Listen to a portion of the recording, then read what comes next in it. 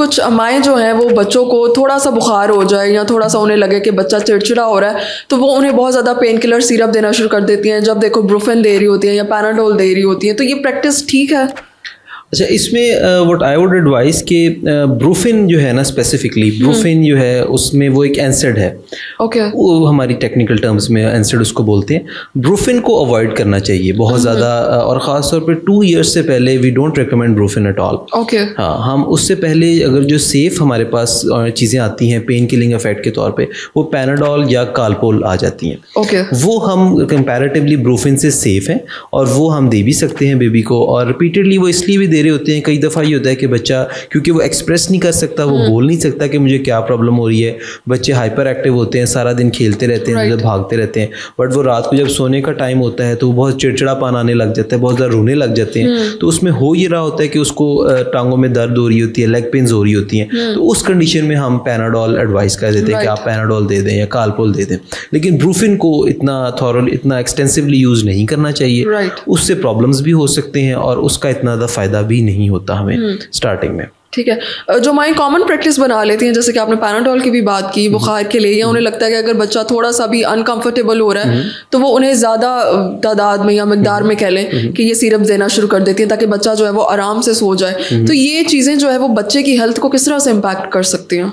अच्छा उसमें यही है एम्फोसिस है कि जब भी आपने कोई बच्चे को मेडिकेशन देनी है ना तो काइंडली कंसल्ट अ डॉक्टर उसमें सबसे इंपॉर्टेंट रीज़न ये है कि हर बच्चे की डोज डिफरेंट होती है. और वो होती है वेट के अकॉर्डिंग।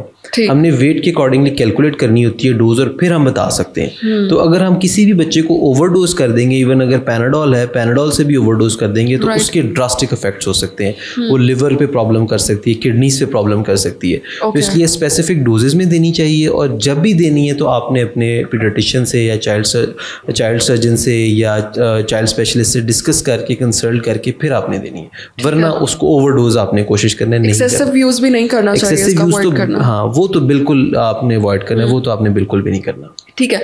एंटीबायोटिक्स बच्चों में यूज़ की जाती हैं। अब दो साल से कम उम्र बच्चों में भी अगर उन्हें बुखार है तो डॉक्टर्स भी रेकमेंड कर रहे होते हैं एंटीबायोटिक्स तो ये एंटीबायोटिक्स बच्चों के लिए सेफ़ हैं? अच्छा एंटीबायोटिक्स में ये है कि थोड़ा सा क्योंकि हम थोड़ा सा अब इस तरह की हमारी सोसाइटी है कि हम चाहते हैं क्विक रिकवरी हो। Exactly. फ़र्स्ट डोज दी बच्चा ठीक हो गया। तो इसलिए बहुत ज़्यादा ओवर द काउंटर भी यूज़ होती हैं डॉक्टर्स बहुत ज़्यादा प्रेस्क्राइब करते हैं। Right. लेकिन एंटीबायोटिक्स में भी इंपॉर्टेंट वही है कि राइट इंडिकेशंस होनी चाहिए। जब बच्चे को वाकई ज़रूरत है उसको वाकई कोई ऐसी इन्फेक्शन है जिसमें एंटीबायोटिक्स का रोल है फिर दें वरना ना दें। क्योंकि अगर हम उसको बहुत ज़्यादा यूज़ करेंगे तो वो जो जर्म्स हैं वो जो बैक्टीरियाज हैं उनके अंदर रेजिस्टेंस पैदा हो जाएगी उस एंटीबायोटिक Right. और फ्यूचर में अगर खुदा ना खास्ता उसको इन्फेक्शन दोबारा होगी तो वो एंटीबायोटिक उस पर उतनी इफ़ेक्टिव नहीं होगी। फिर हमें उससे हाई ग्रेड एंटीबायोटिक पे जाना पड़ेगा फिर और हाई ग्रेड एंटीबायोटिक पे जाना पड़ेगा। Right. वो प्रॉब्लमेटिक हो सकता है। और इस time all over the world ये एक बहुत बड़ा प्रॉब्लम है।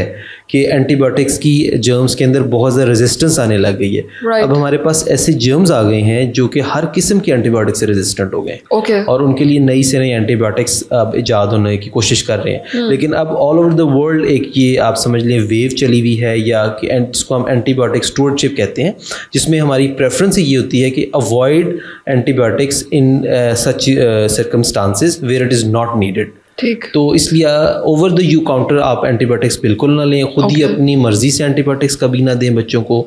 एक तो रेजिस्टेंस पैदा हो सकती है रिएक्शंस हो सकते हैं बॉडी के डिफरेंट ऑर्गन्स पे डिफरेंट इफेक्ट्स हो सकते हैं तो वो ड्रास्टिक चेंजेस हो सकते हैं बच्चे के लिए। डॉक्टर साहब मैं आपसे ये पूछना चाहती हूँ कि एंटीबायोटिक्स अगर बच्चों को इस्तेमाल करनी पड़ रही हैं किसी वजह से तो उसका टाइम पीरियड कितना इंपॉर्टेंट होता है?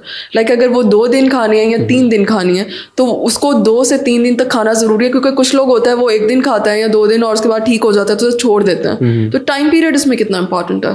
टाइम पीरियड बहुत इंपॉर्टेंट है। जितना आपको ड्यूरेशन आपके फिजिशियन ने सर्जन ने एडवाइस किया है मेक श्योर sure करें कि आप वो ड्यूरेशन पूरा करें। अदरवाइज़ इसके एडवर्स इफेक्ट्स हो सकते अदरवाइज़ एडवर्स इफ़ेक्ट सिमिलरली वही सबसे ज़्यादा प्रॉब्लम ही इसमें रेजिस्टेंस का आता है। अगर आप पूरा उसको पूरा टाइम ही नहीं यूज़ करेंगे तो जो बैक्टीरिया है वो कम्प्लीटली किल नहीं होगा आपकी बॉडी में। Right. बैक्टीरिया के पास वो मेमोरी चली जाती है उस एंटीबायोटिक की and the bacteria starts to develop resistance मतलब वो मतलब बैक्टीरिया और स्ट्रांग हो जाता है। और स्ट्रांग हो जाता है। और वो इनिशियली तो ठीक होता है लेकिन थोड़े ही अरसे बाद वो वापस आ जाएगी इन्फेक्शन और ज़्यादा स्ट्रॉन्ग होकर आपके पास वापस आएगी। ओके तो टाइम पीरियड बहुत ज़रूरी है। डेफिनेटली टाइम पीरियड बड़ा इंपॉर्टेंट है राइट ओके बहुत शुक्रिया।